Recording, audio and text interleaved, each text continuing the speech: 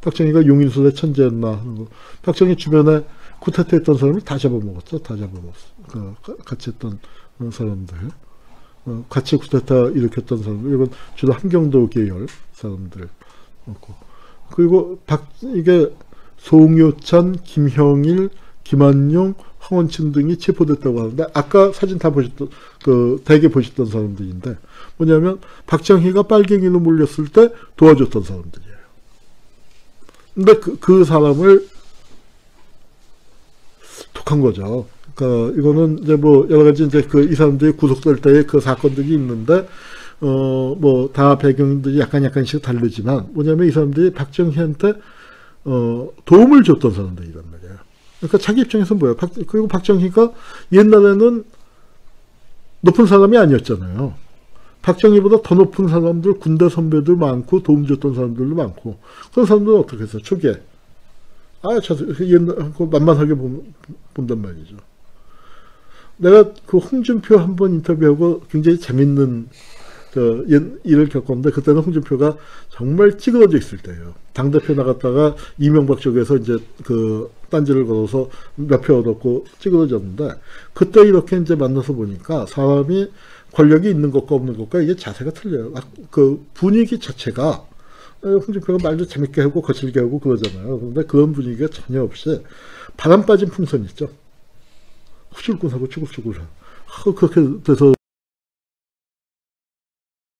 공식 인터뷰 끝나고 난 다음에 훨씬 더 재밌게 긴 인터뷰를 5시부터 7시까지 공식 인터뷰하고 그러더니 인터뷰가 끝났는데 집에 안 가요. 소주 없어 하더니 술 차려놓고 새벽 2시까지 이제 그 낄낄대면서 인터뷰했는데 그때 아니 또 고대 선후배 관계에다가 그 했더니 아 친하다 뿐이야 뭐 하면서 이제 하는 얘기가 더군다나 그 워싱턴에 같이 있었다는 거예요. 홍준표도 찌그러져서 워싱턴에 가 있을 때 이명박이 그 선거법 위반으로 감옥인가 갔다 온 다음에 어, 왔대. 그렇게 그걸 공항에 자기가 마중 나갔으니까 미국이란 데가 먼저 온 사람이 늦게 온 사람을 안내하게 돼 있거든요.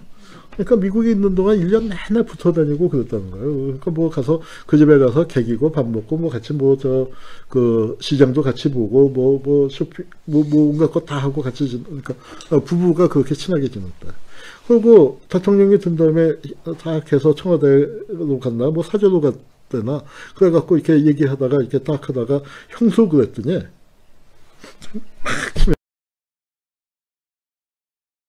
옛날부터 알고 지내던 떨거지를 보지 말자고 그랬잖아.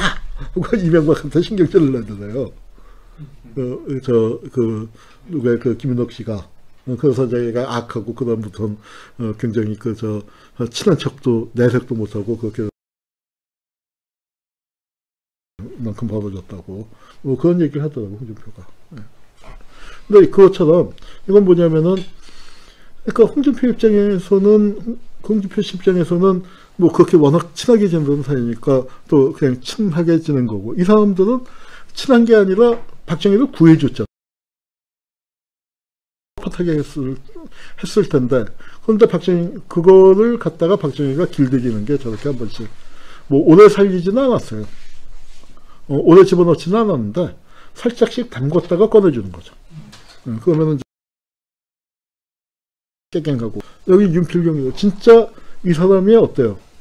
기가 팍 죽었죠. 육군 소장인데 육군 대장이 이 집에 가 정도로 기세등등했다. 그러니까 박정희의 심기를 제일 잘 읽는 사람. 5.16에 참여하진 않았는데 박정희의 부관이나 참모를 오래 해갖고 박정희의 속마음을 제일 잘 읽는 사람이었다는 거예요. 그러니까 수도경비사령관으로 박정희의 측근정치에서 박정 그 실력자가 어, 요무접에 한때 그 이후락, 윤필용, 어, 박정규 셋이 그렇게 이제 나눠져 있을 때 이 사람을 갖다 그러니까 이제 그 유신이 일어나고 난 다음에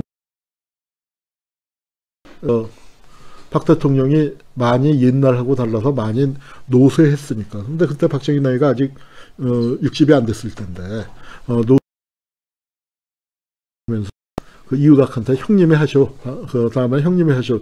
이제 이런 얘기를 했다는 게 돼서 그게 불경죄로 걸려서 내란죄로 걸려고 그랬어요. 그러다가 저 유신이 일어난 직후에 수도경비사령관에 유신의 주역인 이후라까지 연루된 사건을 그렇게 처리하면은 이건 민심에 문제가 많습니다 해갖고 저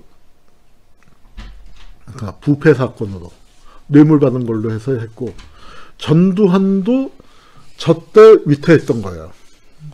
어, 저때 윤필룡하고 이제 그 가깝다고 알려졌었고 하나회의 대부라고 알려졌었는데 영남 군번의 대부니까. 근데 이제 그 그때 전두환이는 줄을 바꿨던 거죠. 그러니까 윤필룡 쪽하고도 가까웠었다가 박 박종규 쪽으로 줄을 갈아타서 간신히 살아남았는데 윤, 윤필룡이가 더 그러니까 박종규가 보안 아저 저, 예, 하여튼 어, 그렇게 됐습니다.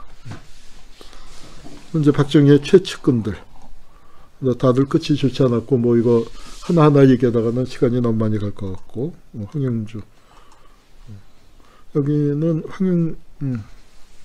황영주도 박정희 측근이었는데 구속됐거든요. 박정희가 직접 구속시켰다기보다는 그 이런 과정이 뭐냐면 그이 사람이 MBC 사장이었어요. 아니, 뭐 이- 처음에 반공법 국가보안법 같은 거는 나중에는 막걸리 반공법이었지만 누굴 단속했냐면 MBC 사장 경향신문 그 아주 그 여권의 실력 좌익 전력이 있으니까. 그래서 그 황영주도 까불지 말고 통한론. 뭐 지금 생각하면 아무것도 아니에요. 유행 감시에 총그뭐 또 하고 이상가족 상봉도 하고 그래야 하는 것 아니냐. 너무나 상식적인 얘기를 했는데 이- 어제 박정희 주변에 빨갱이가 빨갱이가 옛날 빨갱이가 빨갱이 같은 소리 한다. 그래서 그런 거 못하게 잡아들인 그 유명한 사건입니다. 여기는 이제 이- 이분이 박정희의 큰딸이에요. 박근혜 언니죠. 음, 그런데 이제 뭐 박근혜한테 눌려서 사회에 못 나오고 이 사람이 박정희의 부관을 했었는데 그저 그 자기 사위도 맞았죠. 그래서 이제 그 자기 금살 근데 이제 정권 기, 그 있는 동안에는 어 하여튼 뭐 뇌물과 관련된 거 뭐 하여튼 뭐 비자금 관련된 걸로 소문이 나고 그렇습니다만 유엔 대사 시키고 뭐 국회의원 시키다가 아 그거 왜 측근을 국회의원 시키냐 했더니 슬그머니 뺐죠 박정희가. 김종필 이후라 이형